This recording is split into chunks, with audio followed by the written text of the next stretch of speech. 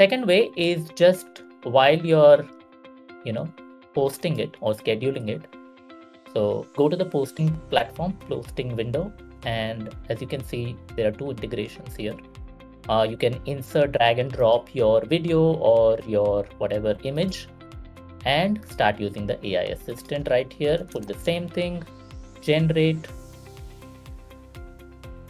Hmm this is a nice uh, post for X because it has one less than 145 characters one I think two hashtags so I can click on insert if I highlight that now can you see that it has given me three symbols do not confuse yourself with these two buttons. These are Grammarly AI that are working because I've already installed the Chrome extension. So ignore that.